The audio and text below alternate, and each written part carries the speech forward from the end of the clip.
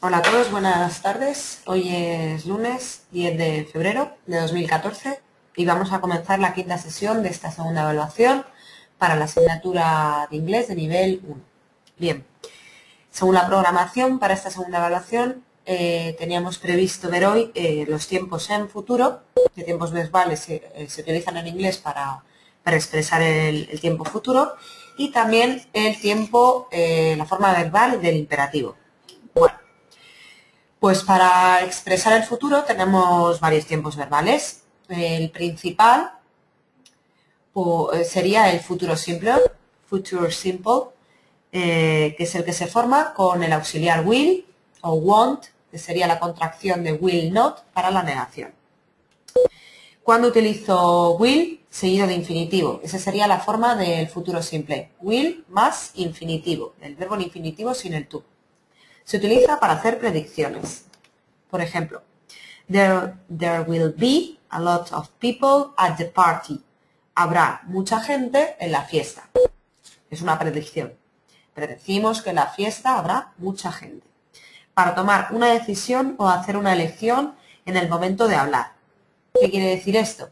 Utilizo el, futuro simple cuando hablo de algo que voy a hacer, pero que he decidido en ese momento. ¿Vale? Que ha surgido en ese momento, en el que lo, eh, pienso en ese momento y por eso tengo que utilizar el, el, el future simple. ¿De acuerdo? Eh, imaginemos, por ejemplo, que estamos en un restaurante y, nos pregunta el camarero qué, vamos a tomar. Pues eh, esa sería una decisión que tomo en el momento, ¿no? No que tenga pensada ya desde que me he levantado esta mañana, sino que cuando he llegado al restaurante he visto la carta y he decidido que voy a comer lo que sea, ¿no? Ahí tenéis un ejemplo. I will have the chicken, please. Tomaré el pollo, por favor. También se utiliza el future simple para hacer promesas. I will be very quiet. Me quedaré muy callado. Con expresiones temporales como when y as soon as, que significa tan pronto como. I will do it as soon as I can. Lo haré tan pronto como pueda. En las oraciones condicionales de primer tipo o first conditionals que, estudiaréis el año que, el, año que viene, o bueno, si os presentáis a ambos niveles, a nivel 1 y a nivel 2 a la vez de inglés, pues también. Si no, sería, perdón, sería, de esto nos vamos a olvidar, ya lo veremos, pero las oraciones de primer tipo, eh, condicionales de primer tipo, utilizamos el verbo, el futuro simple. También para para describir consecuencias después de advertencias. Don't be late or you will miss the bus. No llegues tarde o perderás el autobús. Exactamente igual que en castellano, en español. Para confirmar o dar énfasis en respuestas cortas. Ok, I will. De acuerdo, lo haré. Don't worry, I won't. No te preocupes, no lo haré.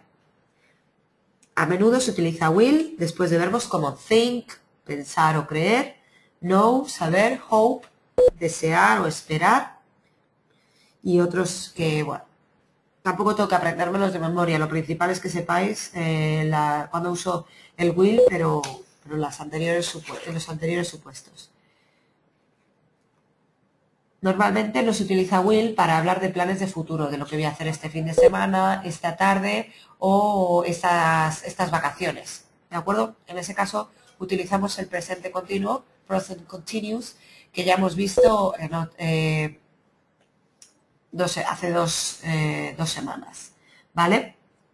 No digo, where will you go on holiday next year? ¿Dónde irás de vacaciones el, año que viene? No suena natural. ¿De acuerdo? Bien. Luego tenéis eh, el siguiente punto, el 5.2, serían verbos modales, may y might no les prestéis demasiada atención, ¿vale?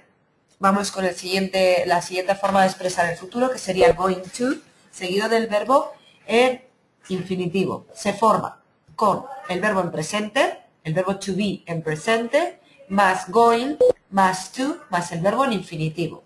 ¿De acuerdo? Sería como poner el verbo go en presente, en presente continuo y luego la partícula to más infinitivo. Lo utilizo para hablar de planes seguros que se van a o de intenciones futuras. ¿De acuerdo? Y siempre que se haya pensado con anterioridad. ¿De acuerdo? Un plan, eh, un plan, valga la redundancia, planificado, algo que ya se ha pensado cómo se va a hacer. ¿De acuerdo? Bien, tendríamos I'm going to do some shopping this afternoon. Ya tengo decidido, no es algo que, que pienso de repente, sino que es algo que tengo planificado pues desde esta mañana o desde ayer por la noche. ¿De acuerdo? Voy a ir de compras esta tarde. I'm going to do some shopping this afternoon. ¿De acuerdo? Bien. Por último, para expresar el, el futuro, tendríamos el present continuous, que ya lo vimos en su día, para expresar el, como una de las, las funciones del presente continuo para expresar planes futuros, planes en el futuro que seguro que se van a realizar. ¿Qué es lo que voy a hacer este fin de semana? ¿Qué es lo que voy a hacer esta tarde? O qué es lo que voy a hacer en las vacaciones de verano. ¿Vale? Ya sabéis, no, no voy a repetir cómo se forma el presente continuo porque os remitiría, en este, al respecto remito a hace dos clases, hace dos semanas.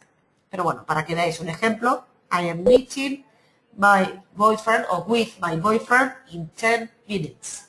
Me encontraré con mi novio en 10 minutos. ¿De acuerdo? Es algo, es un plan que es seguro y en 10 que quiere decir que en 10 minutos, en este caso, me encontraré con mi novio. Bien. El imperativo, muy sencillo. El imperativo en inglés lo usamos exactamente igual que en español. Es para, eh, para dar órdenes o para avisar, para ofrecer o invitar. ¿De acuerdo? Come here, David. Ven aquí, David. Don't drop the water. Be careful. No derrames el agua. Sé cuidadoso o ten cuidado. Have a seat, please. Siéntate, por favor. Bien, ¿cómo se forma? Se forma con el verbo sin el to, ¿vale? Y omitir la, la diferencia con el presente simple, porque el presente simple es el verbo ¿de acuerdo? Sin el tú, es que en el imperativo omito el sujeto, ¿de acuerdo? Bien. En las frases negativas antepongo el, la partícula don't al verbo. Don't be silly, don't stay here. Don't be silly sería no seas tonto, no seas estúpido. Don't stay here, no estés aquí. No te quedes aquí. ¿De acuerdo?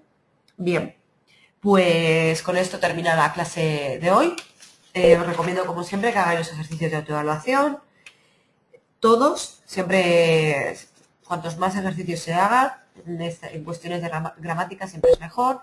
Y luego ya sabéis que tenéis también las páginas web, ponéis, tecleáis en Google ejercicios de futuro o futuro con will y presente continuo, o futuro con will y going to. ¿De acuerdo? Y hagáis todos los ejercicios que podáis tener bien claro los supuestos, cuando utiliza el will, cuando utiliza el going to, eso que quede bien claro, ¿de acuerdo? Bueno, pues con esta sesión ya habríamos terminado lo que es el temario de esta segunda evaluación. El lunes que viene tendremos la clase de repaso de cara al examen del próximo sábado 22 de febrero. El próximo lunes, por tanto, repasaré lo fundamental, sobre todo diré orientaciones y claves para el examen, ¿de acuerdo? Bueno, pues ya sabéis que estamos aquí para ayudaros en todo lo que necesitéis. Sin más me despido. Hasta, hasta la semana que viene. Para vosotros alumnos de inglés de nivel 1. Para los que tenéis pendiente el ámbito social de nivel 1, eh, pues aproximadamente a las 6 de la tarde comenzaremos la clase de hoy. Y, y nada, y nivel 2, pues el viernes tendremos las sesiones. ¿De acuerdo? Bueno, pues me despido. Hasta la semana que viene o hasta pronto.